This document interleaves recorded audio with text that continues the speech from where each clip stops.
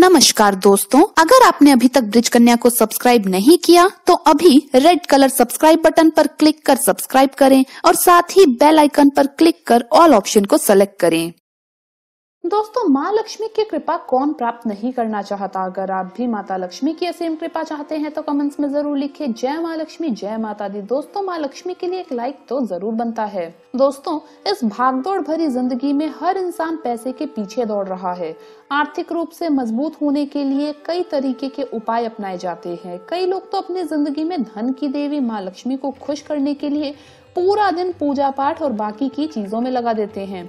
अगर आप भी अपने घर में माँ लक्ष्मी की कृपा चाहते हैं तो ये वीडियो आपके लिए ही है दोस्तों। झाड़ू को लक्ष्मी माता का ही दूसरा रूप माना जाता है। और अगर आप यहाँ बताए जाने वाले समय पर झाड़ू लगाते हैं तो उस घर के अंदर माता लक्ष्मी को आना ही पड़ता है। दोस्तों, आज इस वीडियो में हम आपको बताएँगे कि किस समय झाड़ू लगाने से माँ लक्ष्मी जल्द प्रसन्न होती है। साथ ही हम आपको बताएँगे झाड़ू के कुछ बेहतरीन उपाय, जिनसे आपको लाभ मिलेगा। और हम आपको बताएँगे कि आपको झाड़ू को किस समय नहीं लगाना चाहिए ताकि आपको एक ही वीडियो में सारी जानकारी मिल सके। तो दोस्तों, इस वीडियो को अंत तक पूरी जानकारी के लिए ज़रूर देखिएगा। दोस्तों, हमारे शास्त्रों में, पौराणिक धार्मिक ग्रंथों में कई शगुन अपशगुन बताए गए हैं और उन परंपराओं में कुछ विशेष बातें झाड़ू से भी जुड़ी है। तो आइए उस बारे में जानते हैं। दोस्तों, सबसे पहले तो ये जान लें कि घर में झाड़ू को उल्टा रखना बहुत ही ज़्यादा अपशगुन माना जाता है। अगर आप अपने घर में झाड़ू उल्टा रखते हैं तो तुरंत आप सावधान हो जाइए। आपको ऐसा कभी भी नहीं करना चाहिए। बहुत बड़ा अपशगुन माना जाता है और कई लोग ये गलती करके मान भी चुके हैं कि हाँ ये गलती उन्होंने की थी तो ये गलती भूल से भी आपको नहीं करनी चाहिए।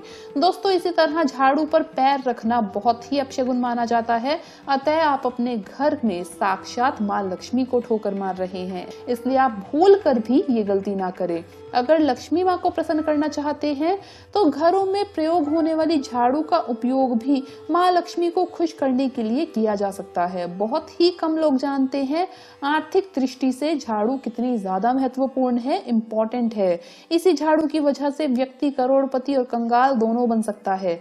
कुछ शास्त्रों में तो झाड़ू को लक्ष्मी और उनकी बहन अलक्ष्मी से जोड़कर भी देखा जाता है। घर में आपने अक्सर ही अपनी मम्मी या फिर बड़े बुज़ुर्गों से सुना होगा कि झाड़ू को उल्टा मत रखो, क्योंकि ये बुरा होता है, या फिर झाड़ू पर पैर मत मारो, माँ लक्ष्मी नाराज़ हो जाएँगी, वगैरह वगैरह। यकीन मानिए, ये सब फिजूल की बातें बिल्कुल भी नहीं है। वास्तुशास्त्र के हिसाब से घर की हर चीज़ का बहुत ही ज़्यादा महत्व होता है। झाड़ू से जुड़ी कई बातें हैं जो आप नहीं जानते होंगे। जैसे झाड़ू किस समय लगानी चाहिए। ये तो सबको पता है कि शाम के समय झाड़ू नहीं लगानी चाहिए। लेकिन कभी अगर बहुत ही ज़रूरी हो जाए शाम के समय झाड़ू लगाना तो ऐसे में क्या करना है? ये बात जानना भी बहुत ही ज़रूरी है।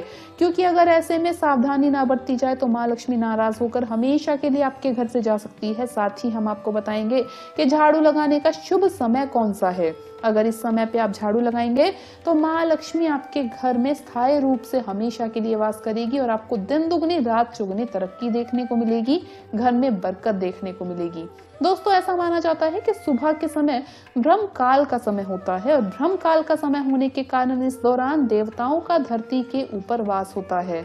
और देवता इस समय रमन करने के लिए निकलते हैं तो सुबह का समय जो होता है, यानी कि चार बजे से लेकर सुबह सात बजे तक का समय जो है, वो सूर्य उदय का समय होता है। इस समय कोई भी व्यक्ति अपने घर की सफ़ाई कर ले तो ये बहुत ही ज़्यादा शुभ फल आपको देता है।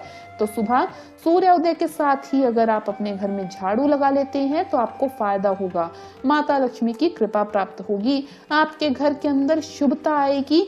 शांति बनी रहेगी, ऐश्वर्य प्राप्त होगा और माता लक्ष्मी साक्षात आपके घर में निवास करने लगेगी। इस वजह से कहा जाता है कि सुबह का समय जो होता है, वो बहुत ही अच्छा समय है और इस समय जो गृहिणी झाड़ू लगा लेती है, उसके जीवन के वारे न्यारे हो जाते हैं और उसे जीवन में कभी भी तकलीफें नहीं देखनी पड़ती। इसी के साथ दोस्तों हम आपको बताएँगे कि अगर आपको शाम के समय झाड़ू लगानी पड़े तो आप क्या करें? दोस्तों, अगर किसी मजबूरी में आपको शाम के समय झाड़ू लगानी पड़ रही है तो ऐसे में आप अपने घर का कचरा शाम को ही बाहर ना फेंके। उसे आप इकट्ठा कर ले और दीवार से सटा करके उस कचरे को वहीं छोड़ दीजिए। सुबह आप सुबह की झाड़ू के साथ ही उस कचरे को घर से बाहर करें, लेकिन रात को उस कचरे को आप घर से बाहर फेंकने की भूल ना करें। लेकिन अगर हो सके तो शाम के समय झाड़ू अवॉइड करें। बहुत ही मजबूरी हो जाए, तब के लिए हमने आपको ये उपाय बताया है। तो दोस्तों, आपको ये वीडियो कैसा लगा, हमें कमेंट्स में ज़रूर बताएँ। इस वीडियो को लाइक करें, अपने दोस्तों के साथ शेयर करें और हमें सब्सक्राइब करना ना भूलें। धन्यवाद दोस्तों, आपका दिन शुभ रहे। जय माँ लक्ष्मी, जय माता दी।